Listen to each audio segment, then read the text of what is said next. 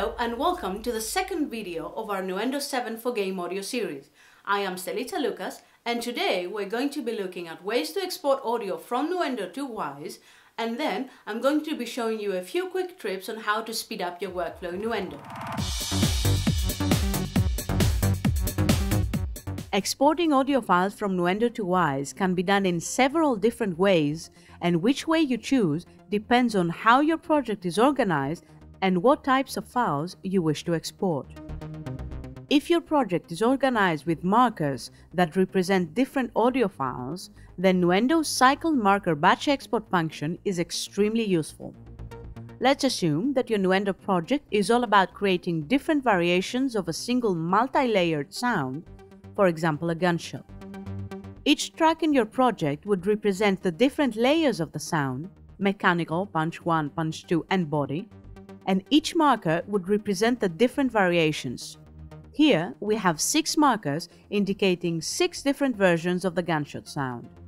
If we want to export the six layered gunshot sound variations as six individual files, we need to go to File, Export, Audio Mix Down, and from the window that pops up, we need to check the Export Cycle Markers box and choose all six markers. Honestly, given how many different sound effects or variations are involved in game audio, the cycle marker batch export feature is to me worth the price of Nuendo alone. In addition to that, if we want to allow for greater variation and flexibility when programming our sounds in Wwise, we can export each individual layer of each variation separately, thus generating 30 files in total in one go.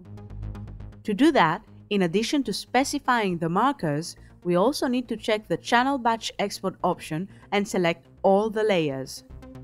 Here is where it really pays off to take advantage of Nuendo's extensive naming scheme. For example, I've set the naming scheme to use project name, channel name, and cycle marker name. This will give me a unique name for each of the 30 files that will be generated, clearly identifying what each file is about. Finally, in order for Wwise to be able to automatically detect these files, you need to set the path to the same folder you have specified in Wwise. If on the other hand, the audio files you want to export comprise of items in the Arrange window that are not necessarily organized into tracks and markers, then Nuendo's newly introduced Render in Place function is an indispensable tool. Let's say, for example, that you want to experiment with using different layers from different versions. Simply select all those items in the Arrange window and go to Edit, Render in Place, Render Settings. Since you have selected multiple items, the Render Settings dialog will have two tabs, In Place and Export. In Place refers to when you want to replace the items in the Arrange window with the new files that will be generated, but since we want to simply export the files from Nuendo, we will use the Export tab. Here, you need to also set that you want each event exported separately, which means that since we have selected 4 items, 4 files will be generated. Then you need to select how you want your audio to be generated, dry or with effects printed on it. And you can also customize the tail size of the files in terms of seconds or bars and beats, and again, use Nuendo's extensive naming scheme to determine how the files will be named. If you have gone through this setup once, each time you wish to render additional files, you can simply select Edit, Render in Place, Render with current settings. If you have already exported audio files from Nuendo in either of the aforementioned ways and thus specified the desired export settings, then for quick exporting of additional files, you can use the drag and drop feature of the Game Audio Connect window. First, open the Game Audio Connect window and access the Game Audio Connect settings by clicking on the gear icon. In the Audio Assets section, you can specify whether you want the metadata regarding the project path to be embedded in the audio file itself or to be exported as a separate file.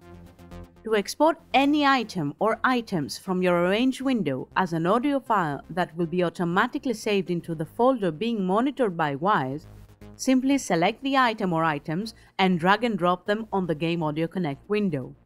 What happens is that a macro runs in the background automatically exporting the file or files with the last used export settings. Irrespective of which way you choose to export your files from Nuendo, as soon as these have been created inside the Wwise Nuendo shared folder, a window will pop up in Wwise asking you whether you wish to import these files into the connected Wwise project.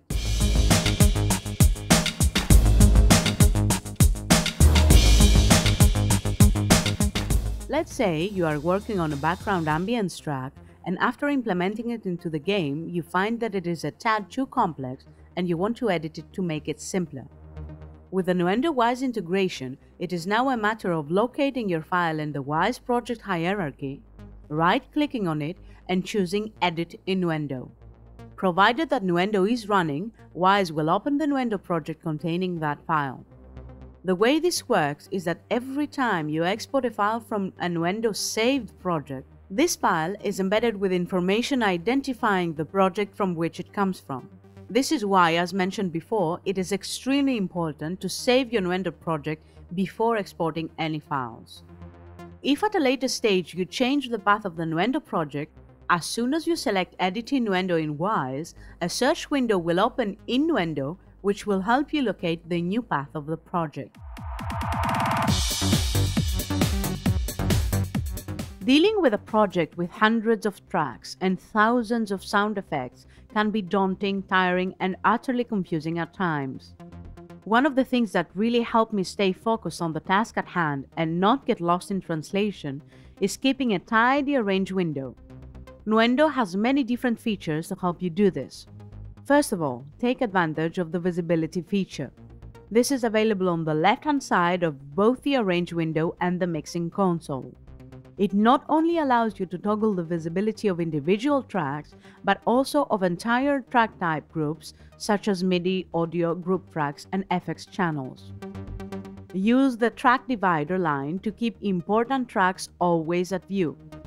If you click on this divider line here, a space will open up at the top of your Arrange window where you can drag and drop tracks like markers, video tracks, and anything else you want visible at all times. This way, no matter how much you scroll vertically, these tracks will always stay in view. This feature is also available in the mixing console under the name of Zones. Click on the left circle next to the track name to keep the track visible on the left hand side of the mixer or on the right circle to keep the track visible at all times on the right hand side.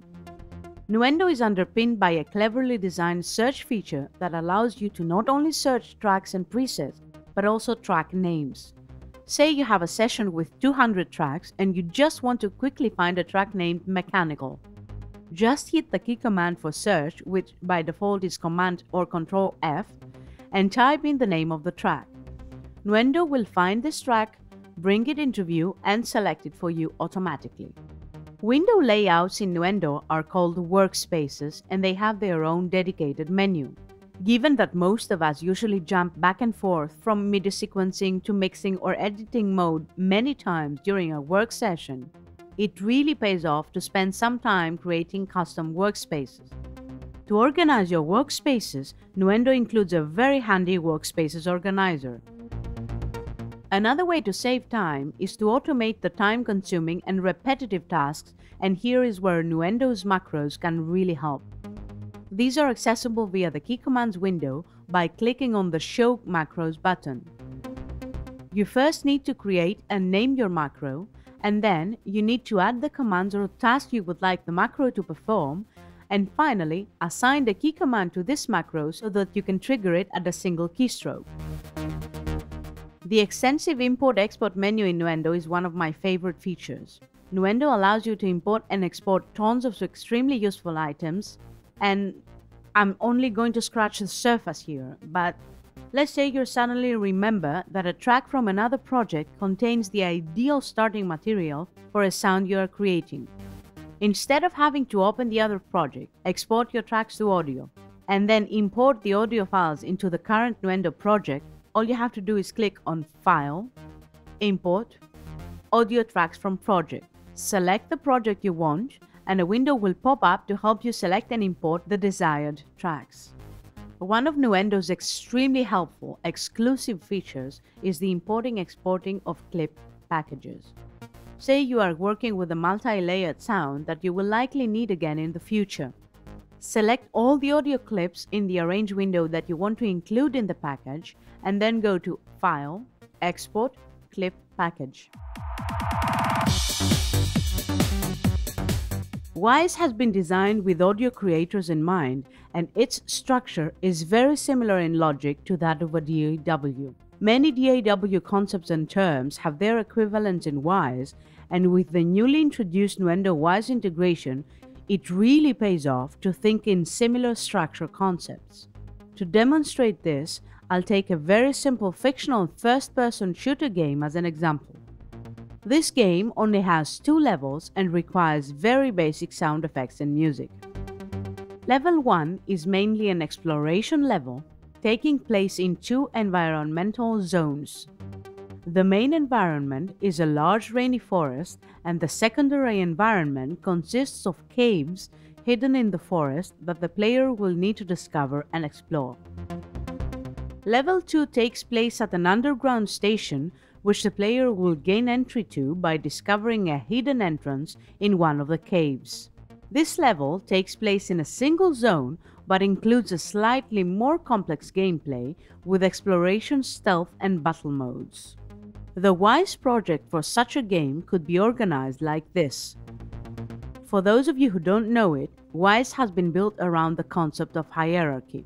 The master mixer hierarchy, which is at the top level, controls the entire audio of a game and individual hierarchies are then used for specific aspects of the audio such as sounds and music. The sound effects here have been organized using an actor mixer hierarchy for each group of sounds. Footsteps and weapons. Each group is then subdivided into containers based on parameters in the game such as what surface the player is walking on and what kind of weapon he is firing. Since I like to keep things as separated as possible, I would create two different Nuendo projects for the sound effects. One for the footsteps and one for the weapons. For each project, I would then create a different track for each type of sound, concrete or wood for footsteps, and pistol or shotgun for the weapons, and use cycle markers to indicate the different variations. This would allow me to export all sounds at once using Nuendo's exclusive cycle marker batch export function. Now let's turn our attention to music. Each level's music in Wwise is organized using the so-called interactive music hierarchy. Since level 1 is mainly an exploration level that doesn't involve any change in game states but only in environmental zones, I would possibly choose to adopt a horizontal resequencing approach. This means composing a different track for each of the two zones and then splitting each track into smaller clips to allow for greater flexibility in programming and triggering the music within the game. For level 2, since we are essentially dealing with a single environmental zone, but with a more dynamic gameplay switching between exploration, stealth, and battle modes, I would probably adopt a vertical remixing approach. This means composing a single musical track for the entire level, which will then be split vertically into three individual stems, each representing a different game state. Again, my tiny whiny OCD would take over and I would create three Nuendo projects for the music.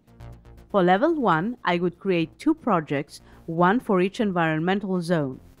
I would then use cycle markers to indicate the shorter musical clips to which the music would be split in, and once again, Nuendo's exclusive cycle marker batch export function would allow me to export all of them in one go.